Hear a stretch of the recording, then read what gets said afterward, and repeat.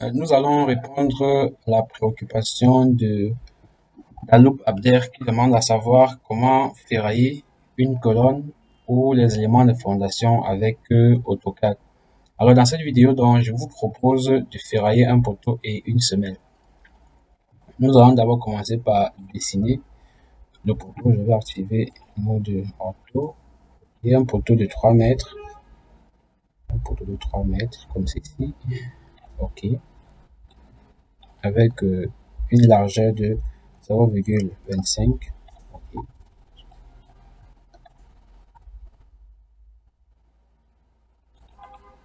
Entrée. Et là, nous avons le niveau fini de notre dalle.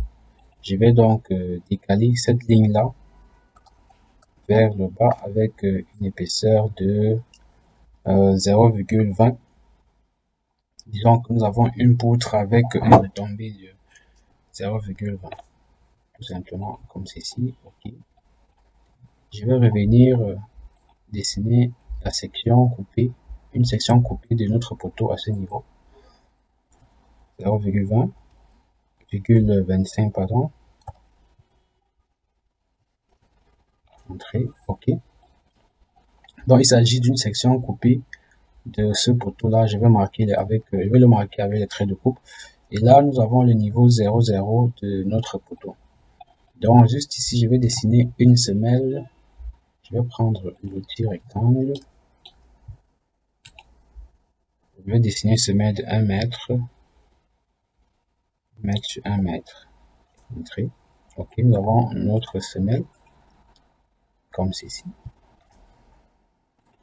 je vais également faire une coupe sur cette fenêtre, sur cette semelle là. Nous allons considérer que cette semelle a une épaisseur de 20, de 30 cm. Et donc, je vais tout simplement copier cet élément là vers le bas, comme ceci. Je vais le diminuer de 0,8, 0,8, Là, nous avons donc euh, notre l'épaisseur de notre semelle. Ensuite, euh, je vais prendre une ligne pour dessiner une amorce de au niveau de cette semelle là. Je vais décaler cette ligne là de 0,15 entrée de part et d'autre de cette ligne. OK, comme ceci. Là, je vais tout sélectionner puis ajuster.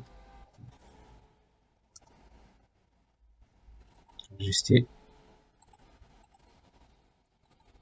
Effacer ceci. Nous pouvons également dessiner le béton de propreté à ce niveau. Nous pouvons également dessiner le béton de propreté juste en dessous de cette semelle. Donc, notre semelle peut avoir deux coupes je vais copier ceci. Ok. Échappe. Je vais également sélectionner ces objets-là, comme ceci. Ajuster. Ajuster ça, ça, ça. Ok. Et ensuite, euh, je vais donc marquer les coupes. Je vais venir sur euh, AC modélisation. Je vais prendre l'outil coupe.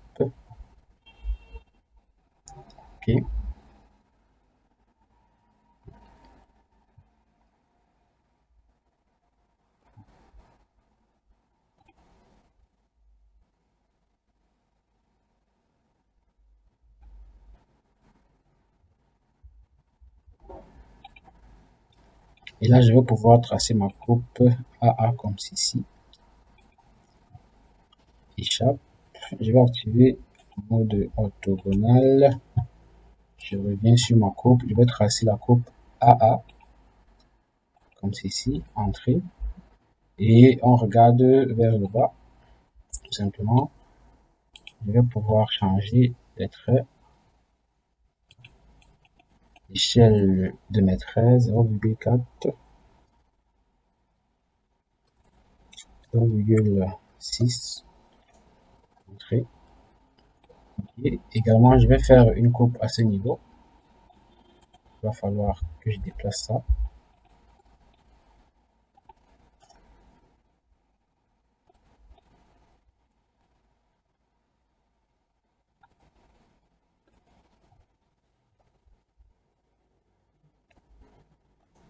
Placer ça.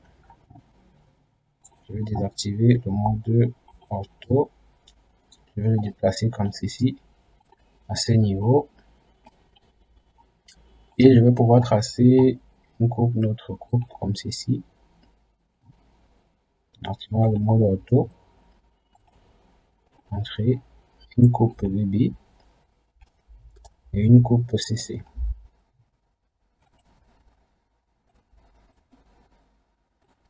Comme ceci.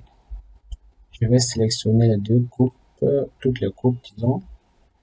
Je vais revenir là à ce niveau. Je vais changer l'échelle à 0,3. 0,4 mieux. Ok. Là, j'ai ma coupe. Il me faut dessiner donc euh, la section du poteau à ce niveau. Il s'agit d'un poteau de 30 fois, disons 30 fois 30. Je vais prendre petit rectangle. OK. 3, tabulation, 3, entrée. Voilà mon poteau. Je vais pouvoir le déplacer. Entrée. Je vais chercher le milieu de ce poteau-là. OK. Désactive. Je reviens chercher le milieu de cette semelle, c'est là. OK. Ensuite, donc, euh, nous allons pouvoir euh, commencer à placer nos armatures. Nous pouvons d'abord placer ça. Je vais déplacer ceci. Ici, c'est la coupe AA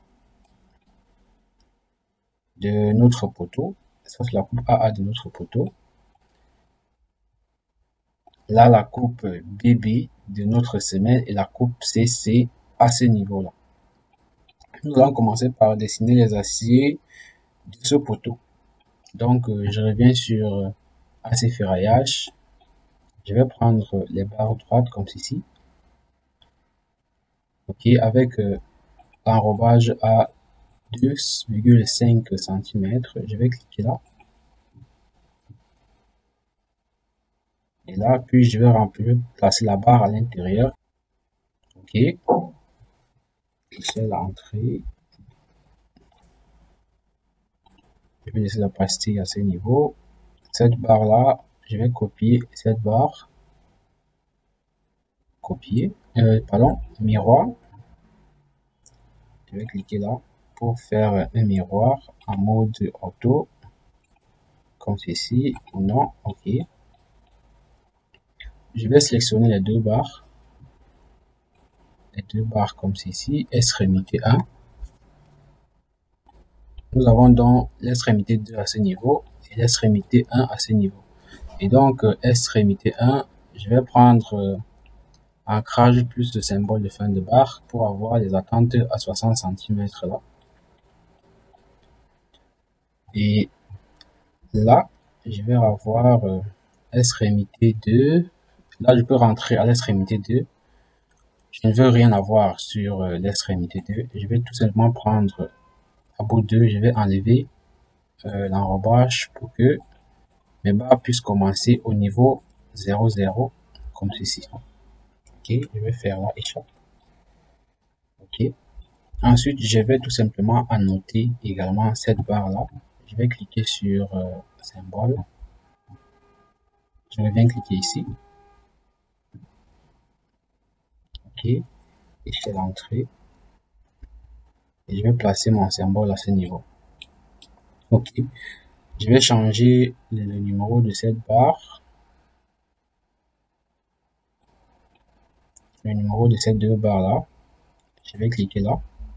Je clique là. Je leur donner un numéro 1. Ok. Ensuite, je fais échappe. Je vais revenir à ce niveau, dessiner le cadre de mon poteau je reviens, je vais prendre le cadre. Je vais prendre euh, l'enrobage à 2,5 avec un diamètre euh, de 6. Ok. Je vais cliquer là. Je vais cliquer là je vais mettre le crochet à ce niveau. La pastille, je vais le placer là. Et entrer. Comme ceci. Ok. Je vais dessiner une épingle à ce niveau. Je vais cliquer sur l'épingle. Je reviens là. Je vais cliquer ici. En barre de 8. En barre de 6 également. Je vais le placer comme ceci son symbole, donc je vais le placer à ce niveau. Comme ceci, ok. Je vais pouvoir donc repartir mon cadre et mon épingle sur euh, ce poteau-là. Je vais cliquer sur euh, d'abord le cadre, je reviens sur une répartition linéaire. Je vais choisir le plus petit côté, étant donné que ce poteau ce poteau est représenté sur son plus petit côté. Donc, euh, je vais cliquer ici, sur le plus petit côté. Je reviens à ce niveau, je vais cliquer là. Ensuite, euh, je vais cliquer de nouveau ici. Je vais placer mon, mes cadres à l'intérieur. Ok, échappe une fois, échappe deux fois. Je vais placer la côte à ce niveau là.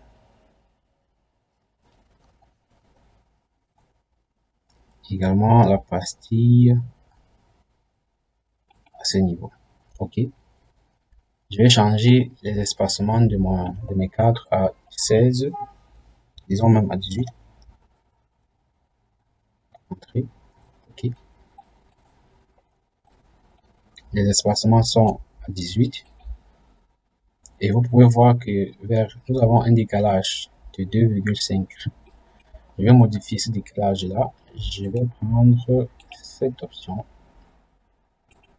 pour ajuster mon décalage. Et donc, nous avons 5 cm à partir du, niveau 0. nous avons le premier cadre à 5 cm et ensuite, tous les autres sont placés avec l'espacement de 16 cm.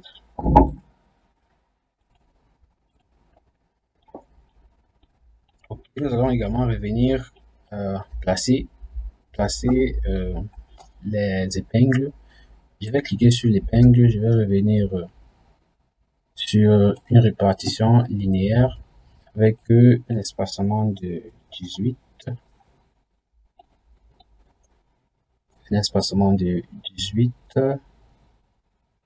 Euh, ok. Je vais vérifier, voir l'espacement de mes cadres espacement de 18 également échappe. je reviens sur euh, mes épingles. Je vais les faire répartition avec euh, un espacement de 18. Je vais revenir cliquer là. Et là, puis je vais cliquer à l'intérieur, comme ceci échappe une fois. Pardon, échappe. Échappe une fois. Échappe deux fois. Ok. La passer, je vais également le placer au même niveau. Comme ceci. E entrer. 2. Ok. Je vais le placer à ce niveau-là. Ok. Là, nous avons euh, fini avec euh, le poteau. le poteau, je vais revenir sur la semelle que je vais placer extrémité 1, cross, extrémité 2, cross. Je peux paramétrer la longueur de mon cross ici. Longueur de, disons, de 8, 10, c'est bon. Et là, je vais cliquer à ce niveau. Et à ce niveau, la pastille, je vais le mettre là. Ensuite, je vais modifier également ce cross. cross euh, numéro 2 à 10. OK.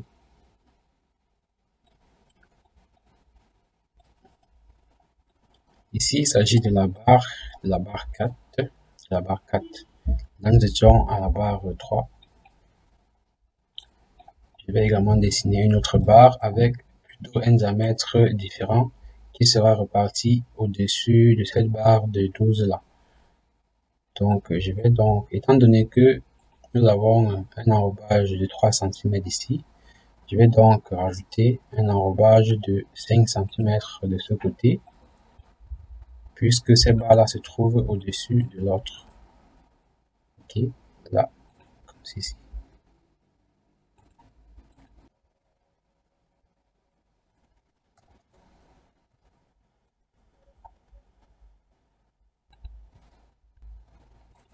Je sélectionne ma barre, je reviens à ce niveau, cross et ancrage, là c'est 10, là également c'est 10.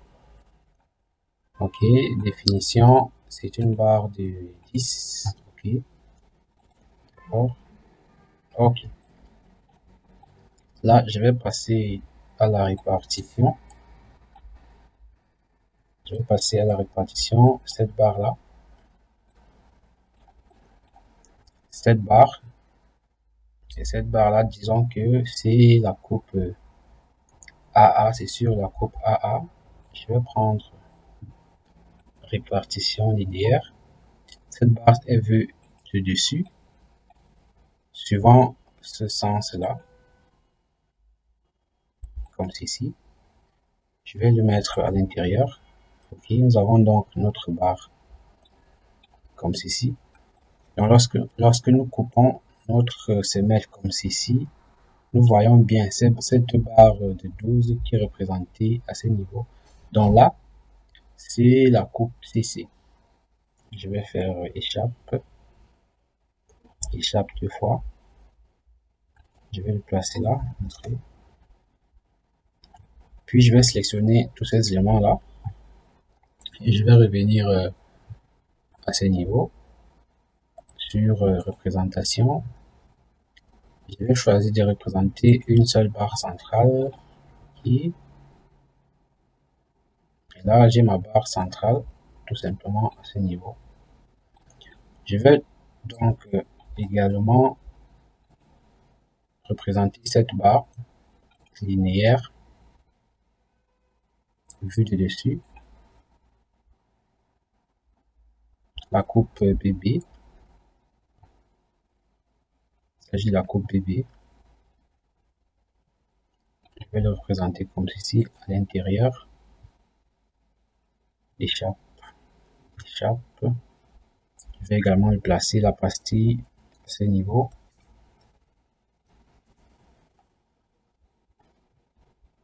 Faire échappe. Je vais sélectionner toutes ces barres là d'abord. Je reviens au niveau la représentation. Je choisis une représentation avec une barre au centre, tout simplement définition, espacement, OK. OK. OK, je vais la noter. En note cotation, pardon. Je clique sur cotation, je vais prendre cette barre là.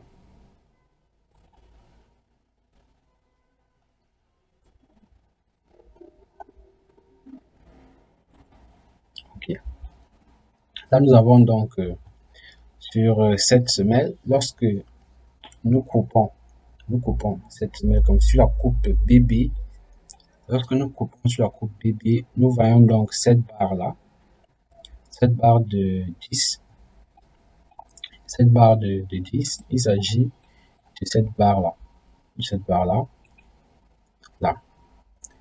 Lorsque nous coupons sur le sens de CC, nous avons cette barre de la barre de 12, cette barre de 12 là.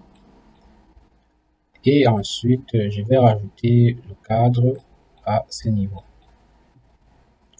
Je vais prendre un cadre, ok. Je vais le dessiner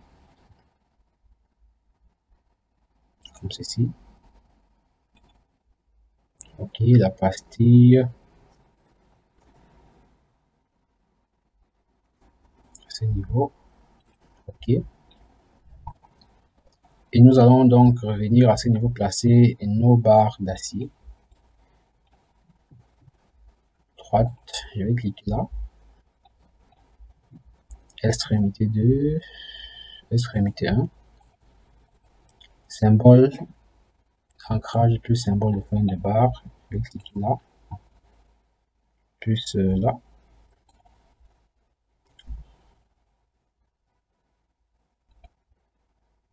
OK. E, entrée.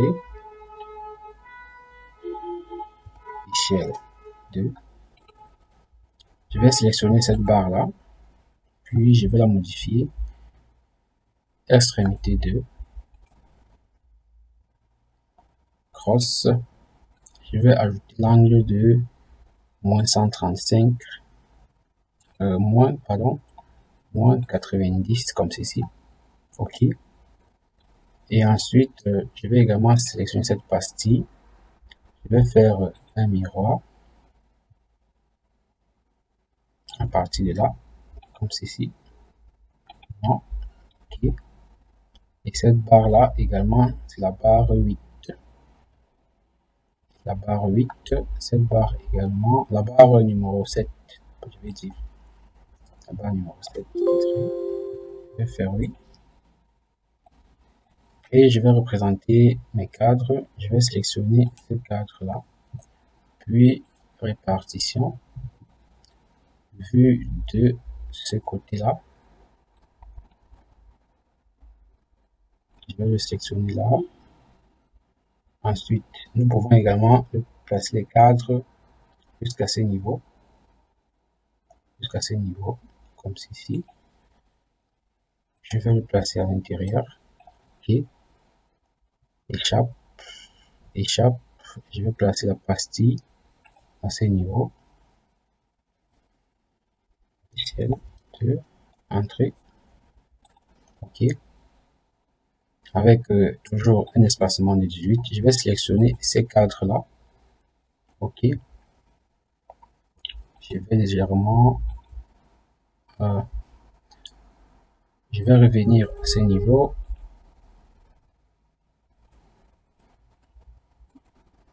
Ok, notre premier cadre sera placé à 13 cm. Je vais valider OK. D'accord, c'est bon. OK. Et tout simplement, je vais passer à la répartition des barres. Je vais passer à la répartition de ces barres-là. Je vais cliquer ici. Euh, je vais passer à la répartition.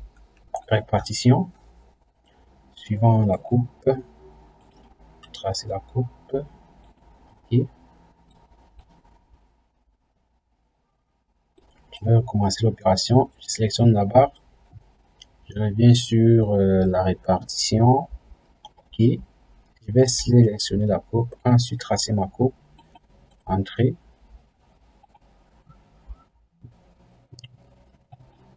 Je vais sélectionner la barre. Ensuite, je reviens sur la barre. Je viens faire euh, ma répartition suivant la coupe. Je vais sélectionner comme ceci. Je vais cliquer sur bas et je reviens sélectionner cette barre là. Nous avons nos armatures juste en dessous.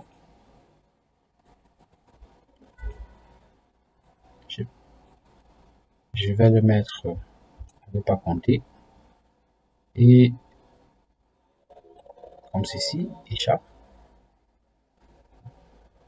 Échappe deux fois. OK.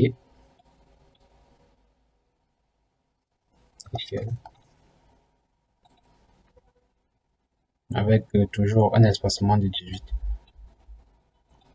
Et là, donc, euh, je vais copier ceci je vais copier ça, ça, ça également, avec les pastilles, bien évidemment.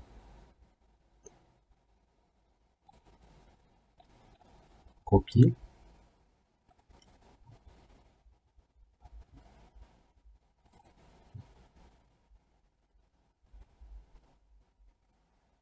Je vais les coller à ce niveau-là. Échappe. Et ces barres-là, ce sont des barres numéro 7. Entrée. Ok. Ce sont des barres euh, numéro 7. Là, ce sont des cadres numéro 6. À ce niveau, les cadres ne sont pas à compter.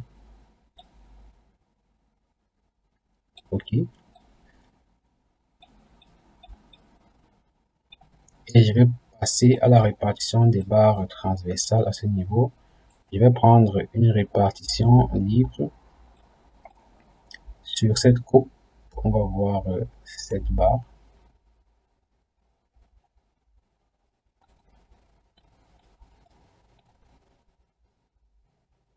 Puisque ce sont des mêmes barres, je vais positionner là. Comme Comme ceci. Après, échappe. Échappe. OK. Vous pouvez voir que nous avons 4 HA de 12.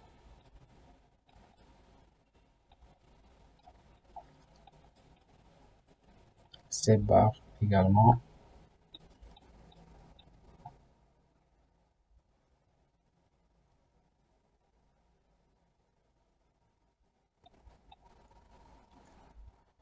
Je vais faire une répartition libre cette barre-là.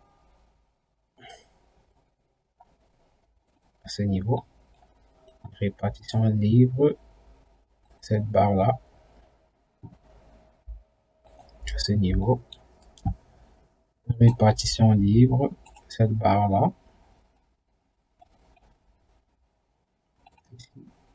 Répartition libre et cette barre là à ce niveau. Ok.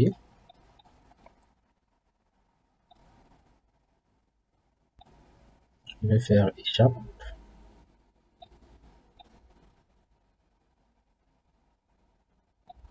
nous avons donc euh, toutes les barres ici. Nous avons 1 2 3 il manque cette barre. J'en ai pris cette barre deux fois donc, je vais supprimer celle-ci.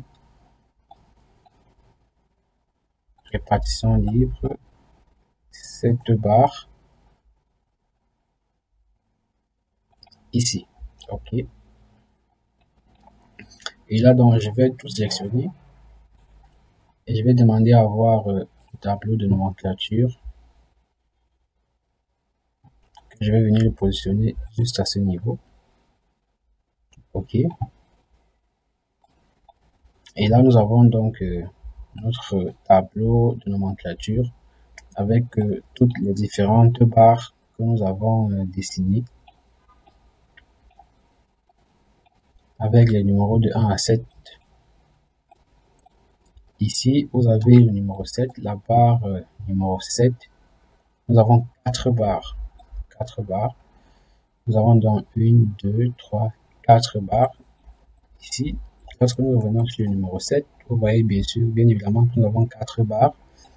Nous avons donc euh, les armatures pour les semelles. Voilà le, schéma avec euh, l'espacement de 0,18. Alors, s'il arrive que je reviens à ce niveau, je vais revenir à ce niveau, je vais sélectionner cette barre-là. Je vais changer l'espacement à 15. Entrée. Ok, j'ai changé l'espacement. Maintenant, donc, j'ai 6 barres. Je vais tout simplement revenir euh, sélectionner mon, mon tableau de nomenclature et venir cliquer sur mise à jour. Ok. Et là, donc, vous pouvez voir que l'espacement a été changé. Alors, euh, merci d'avoir suivi la vidéo. À bientôt pour de nouvelles tutos.